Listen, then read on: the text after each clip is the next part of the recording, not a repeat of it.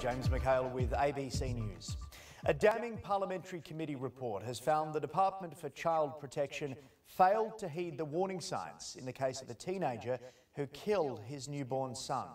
The inquiry found it should have ensured the boy was only allowed supervised visits and that excessive workloads may have contributed to the tragedy.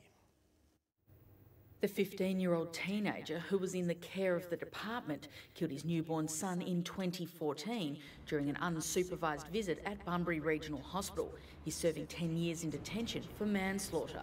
Now, a parliamentary committee says it's not convinced the department appropriately managed his attendance at the hospital. The committee has concluded that there were multiple red flags warranting only supervised hospital visits by the teenager, but as we now know, this did not occur.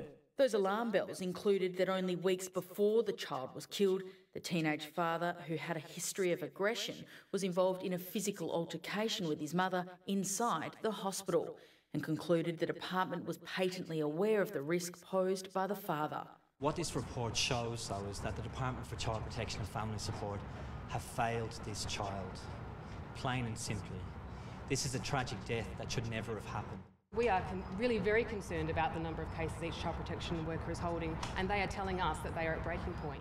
But the minister says the department believed it had put adequate safety planning in place for the young family.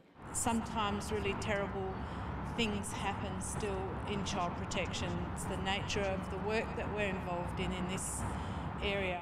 The committee's chairwoman says the heavy workloads of child protection staff mean there's no guarantee a similar incident won't happen again. The minister says the department has made changes to policies, guidelines and procedures related to providing support to young parents and their children. Jessica Strutt, ABC News.